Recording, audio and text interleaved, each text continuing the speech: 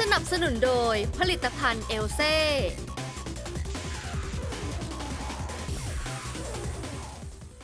ร้องทุกข์กับบรรจงนำเสนอเรื่องราวความเดือดร้อนของชาวบ้าน วันนี้มีชาวบ้านอยู่ในพื้นที่อำเภอเมืองจังหวัดนครศรีธรรมราช ได้ร้องทุกข์บอกว่าอยู่ในสภาพที่ อยู่บนถนนโลกพระจันทร์เนี่ยก็คือถนนขุขระเนี่ยมาเป็นระยะทางกว่า 1 กิโลเมตรเนี่ยนะครับชาวบ้านเดือดร้อนต้องทนมานานกว่า 2 ปี อยากจะสะท้อนนะครับ ให้หน่วยงานที่เกี่ยวข้องเนี่ยช่วยบรรเทาความเดือดร้อนนะครับ โดยมีคลิปนี้ที่ชาวบ้านเนี่ยส่งมาร้องเรียนนะครับ ว่าถนนโลกพระจันทร์ที่ว่าเนี่ยมันขรุขระขนาดไหน เดี๋ยวดูคลิปนี้หน่อย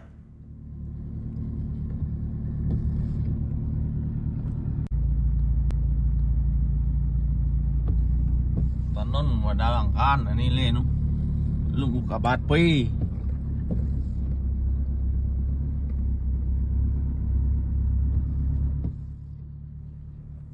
คุณผู้ชมครับ นี่คือคลิปที่ชาวบ้านเนี่ย บอกว่าอยู่บริเวณถนนสายชลประทานสามขวาหมู่ที่ 3ตำบลโพธิ์เสด็จอำเภอเมืองจังหวัดนครศรีธรรมราช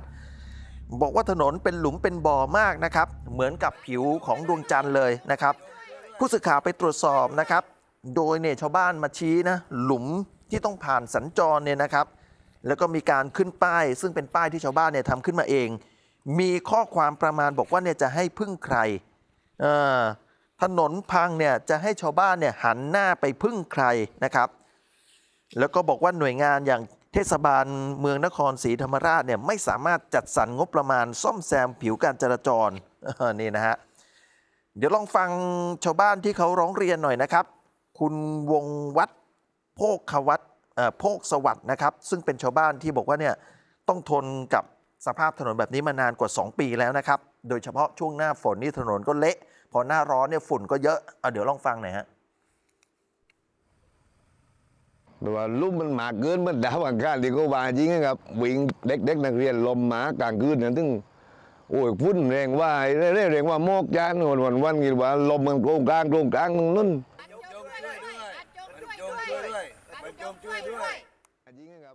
คุณผู้ชมครับ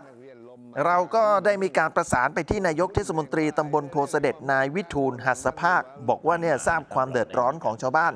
แต่ว่าถนนเส้นนี้ไม่ได้อยู่ในความดูแลของเทศบาลตำบลโพเสด็จ แต่เป็นถนนของกรมชลประทาน โครงการส่งน้ำและบำรุงรักษาท่าดี ทางเทศบาลตำบลโพเสด็จไม่นิ่งนอนใจ ประสานไปยังโครงการส่งน้ำกรมชลประทาน เบื้องต้นทราบว่าได้มีการบรรจุ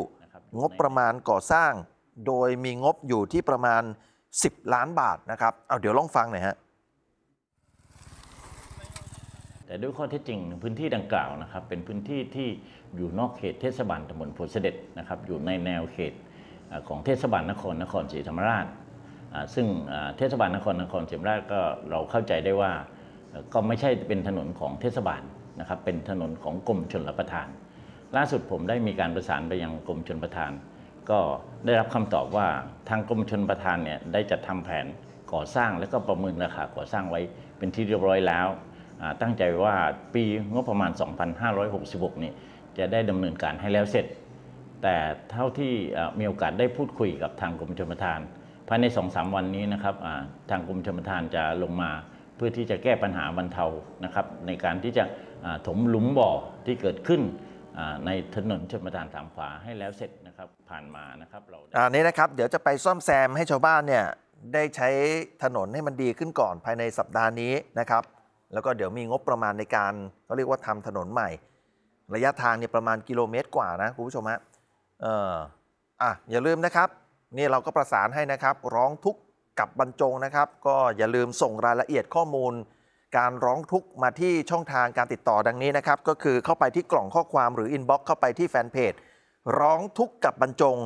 คลายทุกปัญหาไม่เป็นธรรมจำไว้บรรจงช่วยได้